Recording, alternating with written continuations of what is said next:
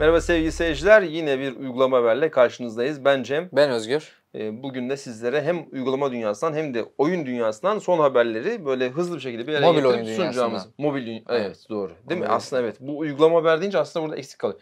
Uygulama oyun haber falan mı desek ya da hatta Yok mobil haber desek. Bir de mobil haber mi desek acaba Mobil diyerek haber. bütün olayı izleyiciler kaçıyor şu an. Hemen ilk haberi senden alıyoruz. İlk haberle başlıyorum o zaman. Lütfen. Ee, Sony geçtiğimiz günlerde bir e, işte Jim Ryan şeyin başkanı, PlayStation Stüdyo'nun başkanı falan. Tamam. E, kendisi bir açıklama yaptı. Bu açıklamada işte bu yeni gelen filmlerden ki sinema haberde bahsetmiştim Evet. biliyorsun. E, çok yaratıcı başka bir isim evet programımızda. doğru. Ee, Sinema onun dışında genel işte istatistikleri paylaştı, geleceğe dair bazı bilgiler paylaştı. Burada hani uygulama haberi ilgilendiren şöyle bir detay vardı. E, zaten PlayStation oyunlarını mobil tarafa getireceğini söylemişti. Ama dedi ki 2025'e kadar oyunlarımızın yarısını mobile ve PC'ye getireceğiz. E, mobile veya Hmm. PC'ye Veya getireceğiz. tamam Yani. peki. yani burada büyük ihtimalle bizim o gördüğümüz atıyorum mesela God of War'un ilk oyununu mobilde göremeyiz. Çünkü yani Yani evet do- doğru. büyük ihtimalle mobil için özel oyunlar yapacaklar. Hmm. Ee, bunları göreceğiz 2025'e kadar. Ee, yani mobil sektöründe zaten biliyorsun en büyük sektörlerden biri Doğru. oldu o da. Ee, Gecikmediler mi sence? Geciktiler mi? Yani Nasıl hep alıcısı var diyorsun. e, ya aslında şöyle zaten o tarafta bir olayları yoktu. Hı. Hani onlar için bir gecikme değil. Sektör için bir gecikme belki olabilir. Ee, ama ya nasıl oyun yapacaklar o da mesela. Şimdi Anladım. atıyorum işte e, Warcraft'ın bir mobil oyunu geçen haftalarda duyuruldu. Evet. Mesela daha böyle ben şey bekliyordum. MMORPG tarzı bir şey bekliyordum. Ama daha çok böyle kule savunma tarzı bir Evet, şey konuş- çıktı. burada çok, konuştuğumuz- yani çok hyper casual bir oyun çıktı yani. Hatta casual diyelim. Hyper Evet. casual demeyelim, demeyelim de. E, o yüzden hani biraz şey nasıl bir oyun yapacaklarını ben merak ediyorum. Mesela önceden e, PlayStation'ın PlayStation Vita isimli bir konsolu vardı. Evet, PS Öncesinde yani, PSP vardı. Doğru. E, mesela burada ya o zamanki oyunlar özel oyunlar yapmışlardı. İşte Uncharted vardı. işte bir e, God of War oyunu vardı diye hatırlıyorum. Çok doğru. Ee, bunlar mesela şey hani bir konsoldaki kadar keyif vermiyordu. Ama yine de yani bir işte otobüste Hareket şunda bir bunda, yani evet. gayet keyifliydi. Yani e, içerik olarak biraz kalitesizdi ama sonuçta büyük bir oyundu. İkinci şimdi el artık- olarak hala satılıyor. Ee, Aynen. Ama artık Vita'ya destek falan kesildi Doğru, yani tabii, onu evet. söyleyelim. Ee, ya şimdi şey mobil cihazlar da aslında bu eski e, el konsolları kadar güçlendi. Doğru. Ee, yaparlar mı o tarz bir şey? Yani bir yine böyle işte third party diyebileceğimiz e, pardon AAA diyebileceğimiz böyle uçmalı kaçmalı bir Uncharted oyunu gelir mi bilmiyorum. Bence Hmm. gelmez. Şöyle Temple Run tarzı bir Uncharted oyunu gelebilir. Çok Çünkü iyiydi. konsept de Bu, benzer. evet ya böyle deyince bütün olay bitti tabii. Yani Uncharted gözümde şu an yıkıldı gitti yani. Böyle hakikaten Yani böyle bir şey olabilir. Ee, ya olsun tabii niye olmasın yani Evet. olsun. Alıcısı var çünkü. Ee, ama dediğim gibi şeyi merak ediyorum. O büyük bütçeli o bir senaryolu ne bileyim hikayeli falan oyunlara girecekler mi? Yoksa casual, Hmm. hyper casual taraftan mı ilerleyecekler? Veya online taraftan mı ilerleyecekler? belirleyici unsur bu olacak. Aynen. diyorsun. Bence o olacak. Anladım. Ama PlayStation'da bir oyun yaptı mı ortamın üstü yapıyor. Anladım. Yani mutlaka zaman bir, farkı oluyor Bir yani. şey bekleyeceğiz o zaman anladığım kadarıyla ki Evet. PlayStation dediğin gibi evet yani hiç değilse girdiği alanda da bir fark yaratmak isteyecektir. Evet. Ki özellikle senin söylediğin bu PS Vita, PSP tarafındaki deneyimini eğer aktarabilirse Hı hı. Neden olmasın? Evet. ya Yani şimdi baktığında daha iyi nereden baksan 10 yıllık cihaz. Tabii Vita. tabii rahat. Ee, 10 yıldan fazla olmuştur hatta.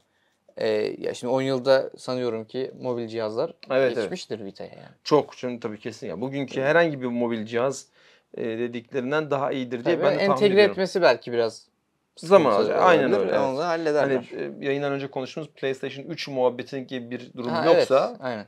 E, bence de çok da zor olmayacaktır. Ben geçeyim o zaman Tabii, buyurun. E, WhatsApp'ın bu geçtiğimiz haftalarda söylediğimiz bir emoji konusu vardı. Hı hı. Emojiler yani hala kullanmadıysanız siz de şöyle kullanabilirsiniz. Yazılan mesaja e, basılı tuttuğunuz zaman veya kenarında e, o emoji işaretini gölgeli bir şekilde, gri şekilde göreceksiniz. Ona bastığınızda e, bir mesaja illa işte beğendim, evet olabilir falan yerine e, oradaki işte sadece 5 tane e, vardı. 5 işte thumbs up, işte parmaklar Gülücük, yukarı aşağı, kalp işte gülücük, kalp bunlar vardı sadece. Şimdi bunda yenilik yapıyor. Bu tepki verme özelliğini biraz daha geliştirecek.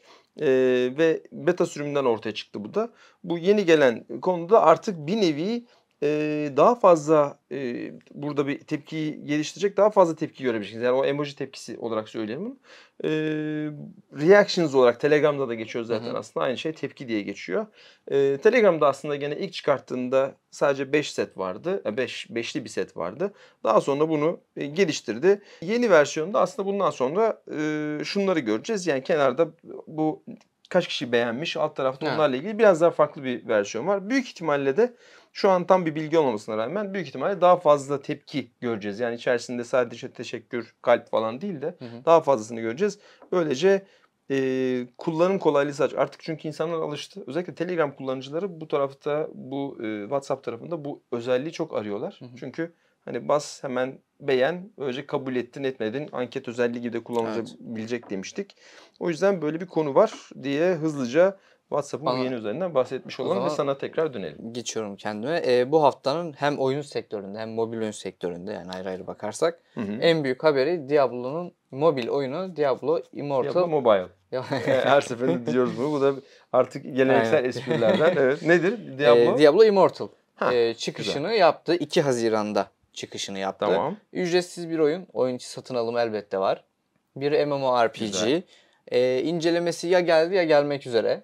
Eee, Hımm. O güzel. Süper. aynen. Tamam. Zamana göre diyorsun şey. Evet. Hımm, anladım. Peki. Eee, ve şey yani ben çıkmadan önce bir iki hafta öncesinden oynamaya başladım oyunu. Hı hı. Eee, sağ olsunlar. Evet. Bir erken erişim versiyonu vermişlerdi. Bahsetmedik değil mi ondan daha O, önce? ya bir, bir de geçen yıl oynamıştım. Hah. Eee, geçen yıl oldu yani oynadığından o bahsetmiştin. betaydı. Şimdi tam tamam. sürümü oynadım Güzel. erken. Ne diyorsun? E, ya ba- ba- bayağı beğendim. Yani böyle biraz kekeme gibi Hadi ya. bayağı beğendim. E, Ben şey hissetmemiştim ama peki tamam.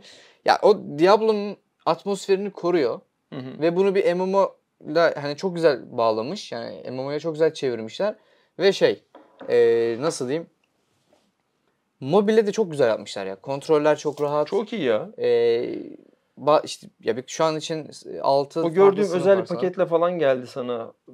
O evet değil evet. değil mi? Yok, o o, o. Aa, Yani tamam, o peki. şey o hediyeydi. E Ekstra tabii mutlaka zaten ama şey değil mi böyle bir e, livery'siyle beraber üstündeyle. Bu arada o e, hediyeyle de şu açıklanmış oldu bizim nezdimizde. E, kontrolcü desteğinin olduğu çok e, şey oldu. Ama tabii bu oyun çıktığı için çoktan insanlar biliyordu Ee, kontrolcü desteğini. Evet. Onu da aslında ayrı bir şeyde bilmiyorum hiç konuştunuz mu? Onunla İnce- oynama deneyimi bir anlatmakta fayda var. içerisinde e, ona da yer e, verdim. Vereceksin. Ha, E, güzel, orada peki. e, Bence onunla ilgili bir video falan anlatsan insanlar da e, bu telefonlardaki o şimdi hani var yani Evet, işte evet. takıyorsun böyle dandik VI'li maylı bir şeyler takıyorsun ne diyorsun hı. biliyorsun şey ama onlar hani gerçekten işi kolaylaştırmıyor aslına bakar. Evet. Sadece tutmayı kolaylaştırıyor. Ama sendeki cihaz Evet biraz daha e, üst- oynamayı kolaylaştıracak bir şey Doğru, gibi evet, görünüyor. öyle. Ama şöyle de bir şey. Dinlemek Hani burada biraz yani e. Diablo'yu öveyim. onu. Teşekkür ederim. Diablo'yu öveyim biraz. Mesela gerçekten o cihaz işte Evet. Razer'ın kişi sanırım öyle bir şeydi Tamam. ismi. Ee, kolaylaştırıyor gerçekten ama oyunu da kontrollerini de yani direkt telefon üzerinden o kadar kolay yapmışlar ki aramıyorsun. Ha, Öyle diyeyim güzel. Ee, hani Süper bana gelen hediyenin tek şey güzelliği şu oldu. Diablo falan böyle Evet tabii temalı özel. falan güzel bir hediyeydi. O Güzel. avantajı oldu. Yani gerçekten ben bu kadar iyi bir iş çıkaracaklarını açıkçası Beklemiyordum. ki e, geçen Beta'yı hafta da oynamana rağmen geçen senekine göre Aynen. geliştirmelerini düşündüğünde Ya betada da iyi. çok iyiydi ama dedim ki hani burada kalır güzel ama Evet. daha da üstüne koymuşlar. Yeni sınıflar eklendi. Şu an Çok yanlış iyi. hatırlamıyorsam 6 sınıf var. E, onları da arttırırlar. E, bir de geçtiğimiz haftada Diablo'nun bu başındaki isim ve bu Diablo Immortal'ın e, baş tasarımcısıyla bir röportaj etme, e, röportaj yapma fırsatım Evet. oldu. E, orada da dinledim. Gerçekten hani e, şey ya böyle bir yan oyun, paraları cukkalayalım tarzı bir şey gibi düşünüyordum ama yok gerçekten uğraşmışlar Güzel. anlatırken ki şey de belli oluyordu yani adamlardan hani ne kadar uğraştıklarını anlayabildim. PlayStation'a da hatırlatma olsun. Nasıl olması gerektiğiyle ilgili aslına bakarsan. Evet. Çok iyi. Bu Evet, ne zaman olarak okuyacağız e, röportajı? Ya da okuyabiliyor muyuz? An? röportajı Hani video yayınlandığında. yani şey paylaşmayacağım. Hmm, Ee, peki. çünkü içerisindeki detaylar zaten ya ekstra bilgi vermediler. Oyunların oyun detaylarını çıkmadan biz basına anlatmış oldular. E Hmm. zaten ben o detayları e, inceleme videosunda bahsettim. Vermişti anladım. E, o yüzden hani oradan direkt izleyebilirler. Ekstra birkaç detay var onları da zaten videoda. Görecekler. Yani işte Diablo ile ilgili detaylı bilgi için e, Diablo Immortal incelemesine bir yerlere. Aa tamam peki onu bekliyorum. Güzel tamam. yani. Tamam peki o zaman. Burada Peki, istersen senin haberin. Tamam oldu. Aslında bir WhatsApp'la ilgili bir haber daha var ama onu o zaman şu Twitter'dan sonraya bırakmış olayım. Twitter'da tabii sular bir taraftan kaynıyor. Elon Musk'ın bu e, satın alma hamlesi sonrası artık fiyat düşürme hamlesi mi hani hangisi olduğunu bilemediğimiz bir trollük meselesi mi var yok mu Vazgeçme anlay- için yani evet vazgeçtiğini E, bir taraftan davalar açıldı. E, me- mevcut e, yönetim dava açtı. E, yani işte fiyat düşürmeye yönelik bir hamle. 159 milyon dolar daha ucuza kapattı. İşte aslında daha fazla verecekti ama bu şeylerle e, işi değiştirdi gibilerinden bir durum var. Ve e, oyalama taktiği olarak görünüyor. Dolayısıyla o Twitter'da sular durulmuyor. Pek Elon Musk da işin içinde olunca pek de durulacak gibi de gözükmüyor. Her şey olabilir. Hani ne bek ne ümit ediyorsun deseniz hiçbir şey diyemeyeceğim. Çünkü e, dünyanın en zengin adamı değiliz. Hani e, nasıl bir plan içerisinde ne düşünüyor, ne planlıyor ha, bilmiyoruz Yani ama evet e, çok sı- o- çok çok işler- sıkıntılı yani. Evet. Hani ve Twitter adına da bence çok kötü.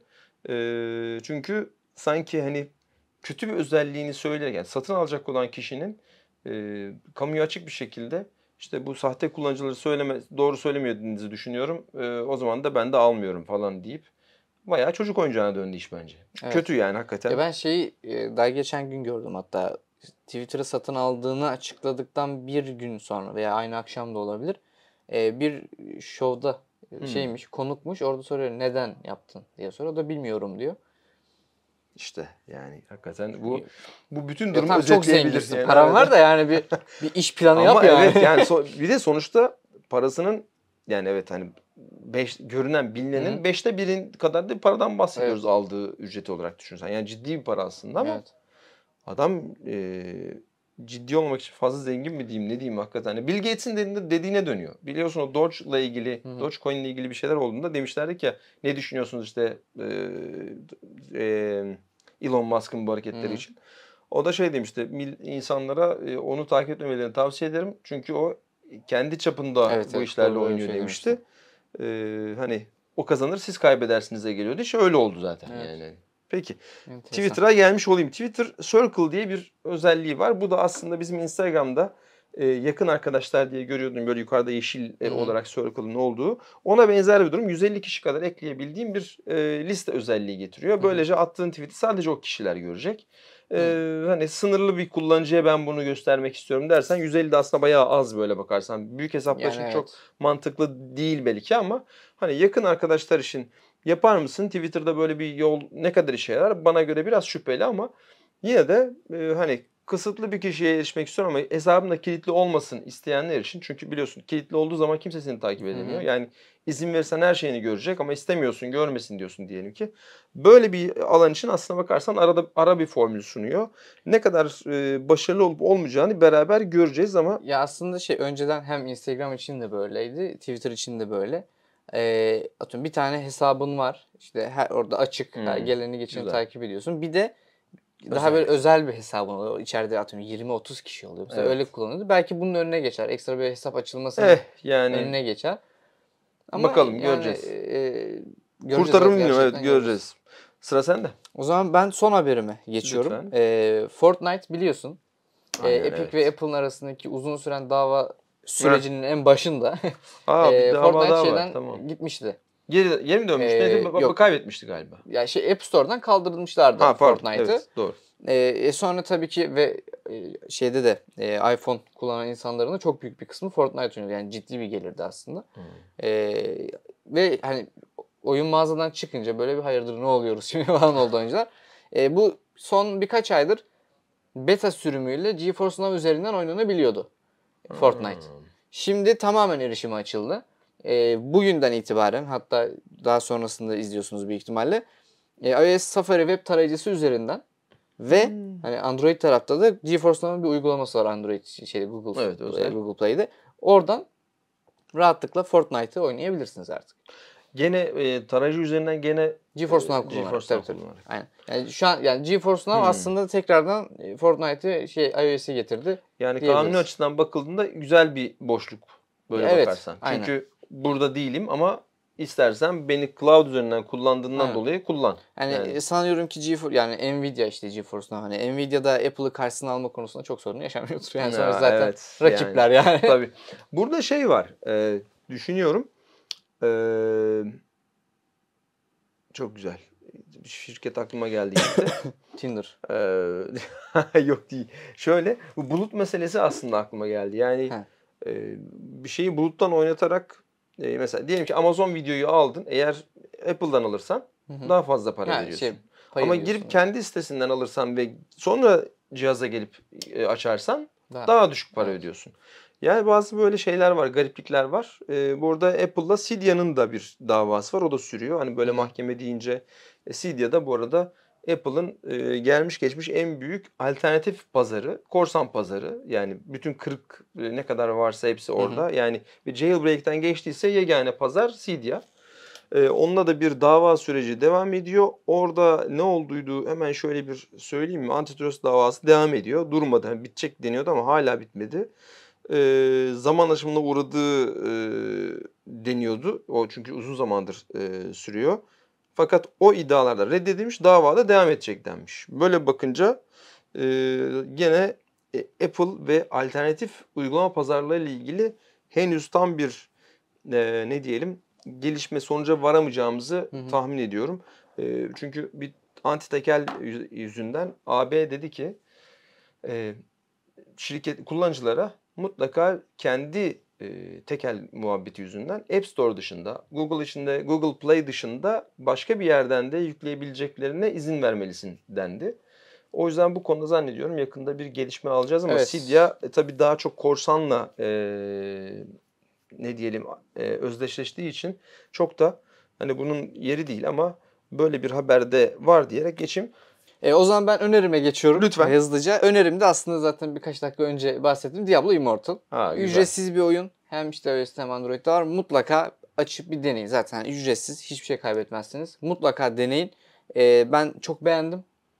E, Evet. zaten az önce anlattım. Bir daha detayına girmiyorum. İncelemesi de e, buralarda bir Ben yerde de ben de o zaman diyorum ki eğer Lego seviyorsan, kullanıyorsan Brickit diye bir uygulama var. Bu Hı hı. Brickit uygulaması Legoları böyle masaya döküyorsun. Tamam. Sonra e, fotoğrafını çekiyorsun Brickit uygulamasıyla. Sana o masadaki Legolardan ne yapabileceğini e, Ya parça şey parça gösteriyor. parça gösteriyor. Ha, Yapabiliyorsun. Fiziksel bir Lego ihtiyacımız var, Aynen öyle. için? Tamam. Tabii fiziksel ama böylece hani ya karışık bir Legolarım var. Ne oldu ne bitti onu bilmiyorsun. Yani orada ne çıkacak oradan belli değil. Sana e, yaratıcılık anlamında yardımcı Ha, evet, oluyor. güzel. Evet, evet. Daha fazla şey çıkartabiliyorsun. Keyifli. Lego, Keyifli. e, Aynen öyle. Legom olsun isterdim. Biraz ama sen de dolaylı yoldan ücretli bir şey önermiyor. Hayır Lego ya öyle. belki hani belki mesela ucuz parçaları alıp Hı hı. hani onunla Evet, ilgili evet, bir şey çok yapmak güzel. istersen mantıklı Evet, söyleyeyim. Hani e, çünkü öyle satanlar var mesela evinde kullanmıyor onu satıyor Hı. e, ikinci el olarak. Değerlendirebilirler. Evet. Brickit. E, o zaman bu haftalık bu kadar diyoruz. diyoruz. O zaman bu haftalık. Hoşçakalın. Hoşçakal.